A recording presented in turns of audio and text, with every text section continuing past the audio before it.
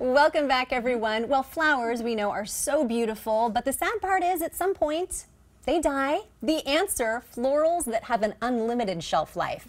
Here to show us the paper flowers from Pink and Posey is its creator, Quinn Nguyen. Mm -hmm. Thank you so much for being with us. Oh, this is so great. Much. And so this is what Pink and Posey does. You create these gorgeous yes. arrangements, mm -hmm. okay?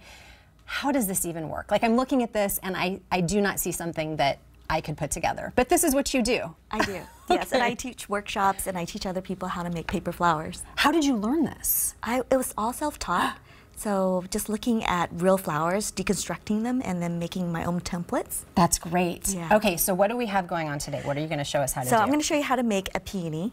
And so what you do is with this particular kit, you get all everything you need, except you'll need some scissors, glues, and floral tape. Okay. But once you have the, there's instruction with step by step. And then you just kind of follow it through, and I'll quickly show you how to do it. Okay. So the, I think the hardest part for a lot of people is doing the center part.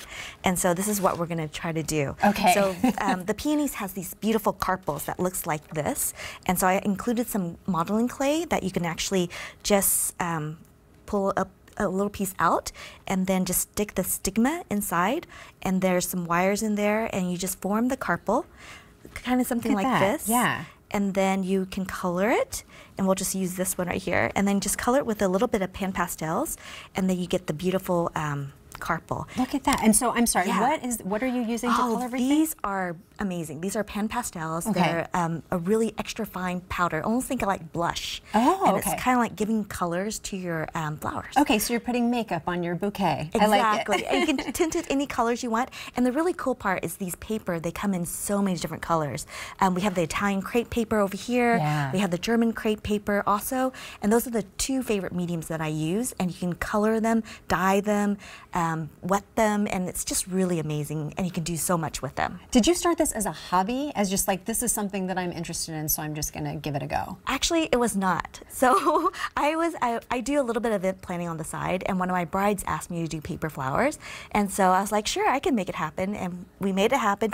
we had an amazing photographer, and then a whole bunch of people started asking me about it. And so I started researching it a little bit more, and this is where I am now. I love that. Yeah. Okay, so then how do you do the rest of this? Yes, so in the, in the booklet, there's also templates on, you can trace the template, cut them out, and then pretty much it's super easy. And I pretty much don't use any templates now because I make so many. And so what I usually do is I just fold it in half and I just cut a petal shape, but you can follow inside the book and it'll tell you how to do it. And then each of these petals I usually hand cut and detail. And so you can actually have a lot of fun. I think that's the best part, besides coloring the petals, which is a lot of fun. So if you want to, why don't I have you color some petals? Okay. You could choose any of these colors. And then and just um, kind of rub it yeah, in Yeah, just rub it in a little bit and just put wherever you want to.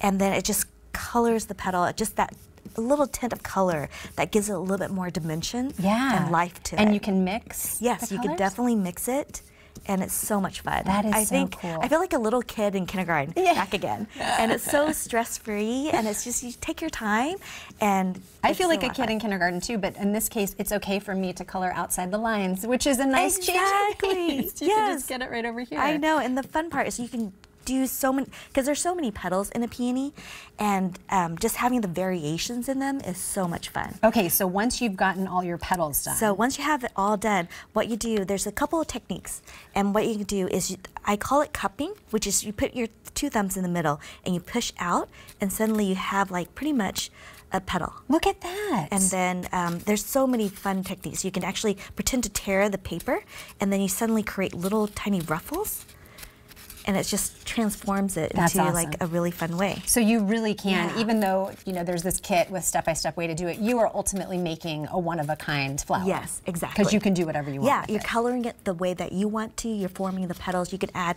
and take away petals that you want. So if you want a more full bloom, add more petals. If you want a more simple bloom, take the petals away. Right. So it's so much fun. It's That's a lot great. of customization.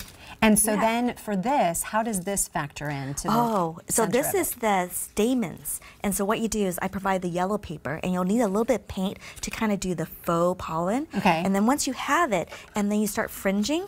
And so I've gotten really good at it. Um, I did a citywide um, cherry blossom event of, with Nordstrom and Fran's Chocolate last Yeah. year. And so I got to make 4,000 cherry blossoms. Oh. And so I gotten really good at fringing. And I was going to say, watching you do that is um, akin to watching a chef when they're like chopping an onion. How are they going that fast? I don't know, but I guess if you're making that many, Yes, there's a lot of practice. Right. How long did that take you, though, even with that speed? Well, I was purely devoting to it, and that took me about two months. Oh my gosh! And so we did six stores and so many cherry blossoms. Oh my gosh. I, well, I know we have some photos of some of the flowers that you've created over time, which is, look at that. I mean, Yeah. Particularly, well, all of them. I was going to say, particularly on the upper left, they look real, but they all look real. thank they you so all do. much. How have you ever? Um, I'm sure that you've fooled a lot of people. Have you ever fooled a bee? Yes, I actually have. It was so funny. We were doing a photo shoot outside, and I turned around, and there was a couple bees on the pollen.